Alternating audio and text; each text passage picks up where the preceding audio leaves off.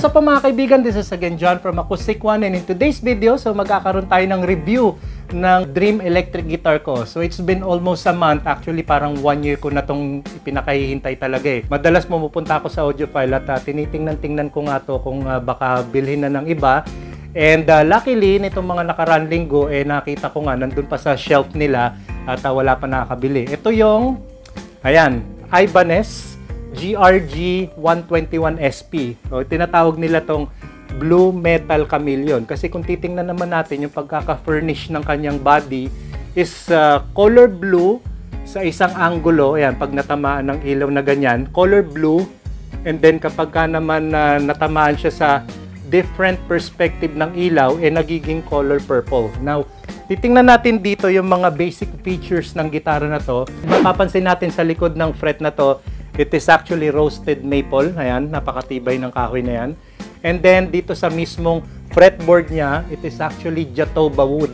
Yung sinasabi nila na Brazilian cherry or yung isa sa mga pinakamatibay na wood. At actually, na-research ko siya sa internet, yung mga ganitong klase ng wood, yung mga jatoba. Ito yung mga kahoy na ginagamit sa mga tools like a hammer, yung mga tipong mga shock resistant talaga. So, mapapansin natin dito, hindi to basta-basta uh, nasisira or nagkakaroon ng uh, parang mga cracks or something dahil napakatibay talaga niya. Nice. And of course, yung kanyang fret is actually 24 frets, no, 'di ba? Kung kayo yung mga tipong mga leadista, eh maabot nyo talaga yung mga highest pitch o yung mga highest note dito sa gitarang ito. As compared do sa mga regular na electric guitar na nabibili natin or nakikita natin sa music store, mostly yung iba is uh, 22 frets. Pero ito, napakaganda ng gitaran to. Nakita ko nga, oh, na-surprise ako eh. Kasi 24 frets. So talagang uh, lahat ng mga matitinding uh, lead na alam nyo, eh pwede na maabot. And then of course, yung kanyang uh, nuts dito, hard plastic. Ayan. And then of course, yung kanyang headstock, ayan, chrome yung uh, tuner niya dito. And then of course, mapapansin natin dito, dalawa yung kanyang humbucker pickup. And then meron siyang volume knob, and then meron siyang tone. And then of course, yung switches niya is tatlo. Una, sa pinakamababa, dito sa may bridge pickup. And then pag sinwitch mo sa gitna, yun yung dito sa dalawang pickup na to. And then yung pangatlo, dito sa may neck pickup. Ayan. Kung makikita natin dito sa likod, ayan, yung kanyang uh, salpakan ng string. So yung pinaka lower E string, ayan, medyo mababa ng konti dito. Naka-adjust ng ganyan. And then yung iba, naka-align pare-parehas for a good intonation. And then ganito yung kanyang screw para sa neck at saka sa body.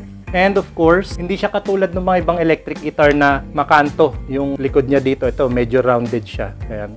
At mapapansin natin dito, actually ako personally, nung hinawakan ko yung kanyang uh, fretboard, para sa akin, saktong-sakto lang. Napakasarap gitarahin, no? Parang naalala ko tuloy yung acoustic guitar na ginamit ko which also comes from Ibanez. Talagang uh, produkto ng Ibanez talaga nagustuhan ko na eh. Meron kasi akong uh, parang uh, motto ba tawag doon na kung nagustuhan ko na isang produkto at bibili pa ako na isang produkto, eh, I might as well buy the same product. Napakaganda eh. Hindi ako binigo ng Ibanez eh. Even dito.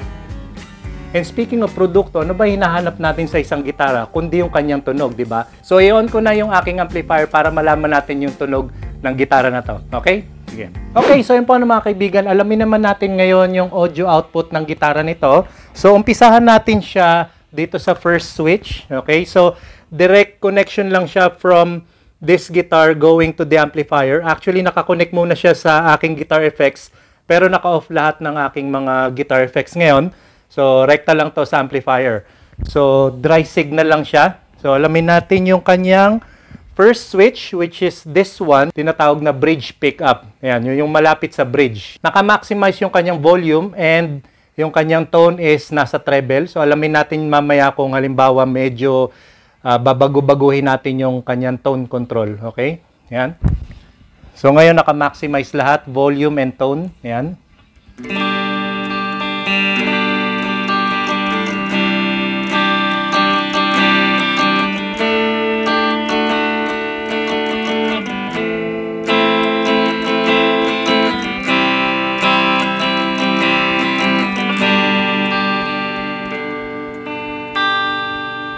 Okay, so kung mapapansin natin ano, medyo matreble yung kanyang tunog. Siyempre, obviously, ang naka-activate sa kanya is yung kanyang bridge pickup. So, kung mapapansin natin, yung tunog nito is uh, kapag malapit siya dito sa bridge, makalansing. Ayan o. And then, sumunod naman, bago-baguhin natin yung kanyang tone control. Ayan.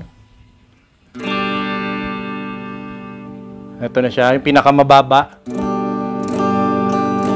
So, tunog na parang uh, medyo kulob. Ayan. Oh.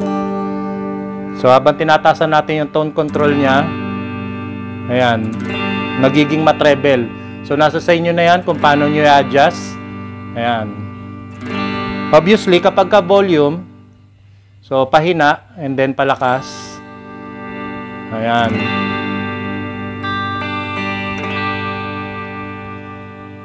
Alright. So ngayon naman, gamitin natin yung switch sa gitna. So ang mangyari niyan, ang mag-activate sa kanya is yung dalawang pickup sabay. Yung kanyang uh, bridge pickup, tsaka yung neck pickup. Ayan. So alamin natin yung tunog.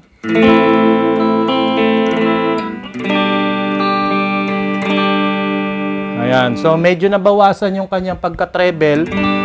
Ayan o. Oh.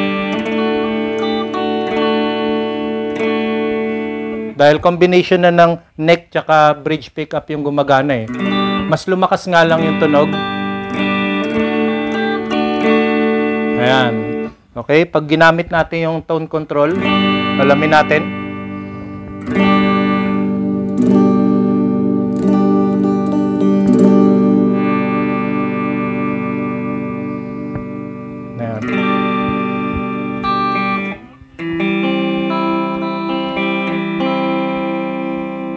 And then, kapag ka neck pick up naman, ito siya.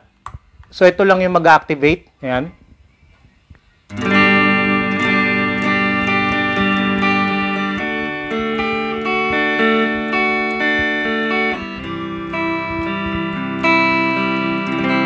Ayan.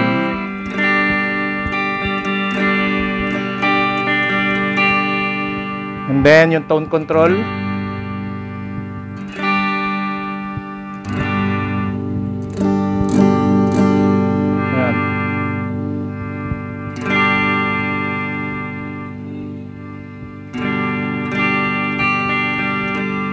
Ayan. Okay? So ngayon, gamitan natin ng distortion. Actually, hindi ko mapapakita ngayon. Pero gamitan natin ng mga basic uh, guitar effects. So, unahin natin yung distortion. Ano kaya magiging tunog niya? So, ngayon, random na lang yung switch na gagamitin ko. Gagamitin ko itong dalawa. Yung uh, bridge saka yung neck pickup. Okay?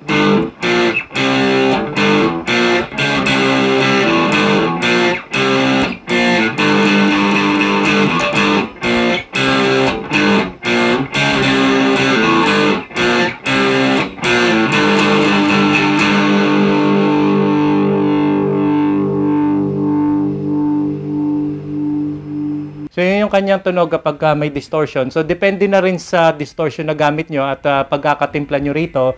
So nasa sa inyo na rin kung paano nyo isi-set up yung inyong mga guitar effects. And then kapag ka naman clean tone, ito gagamitan ko ng analog chorus.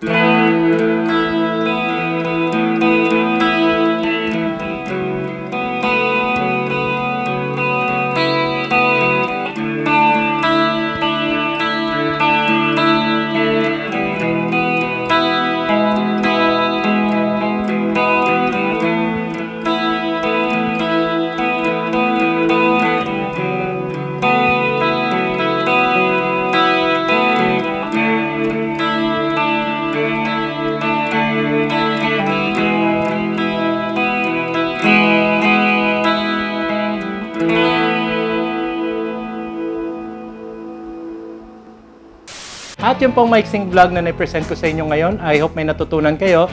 At kung di pa kayo nakasubscribe sa aming channel, don't forget to subscribe Acoustic One at i-hit nyo na rin ang notification bell para updated kayo palagi sa aming susunod na guitar vlogs. So till next time mga kaibigan, maraming salamat at God bless.